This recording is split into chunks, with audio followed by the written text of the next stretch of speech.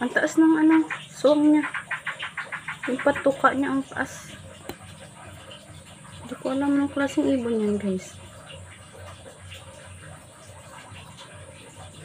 Naliligo. Naliligo siya.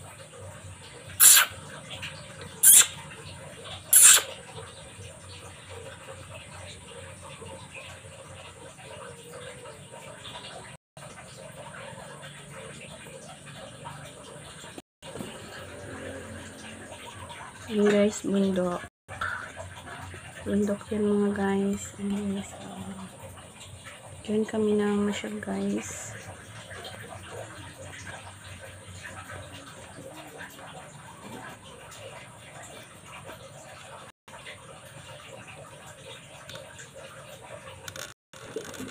Ang galing niya, hindi siya umalis.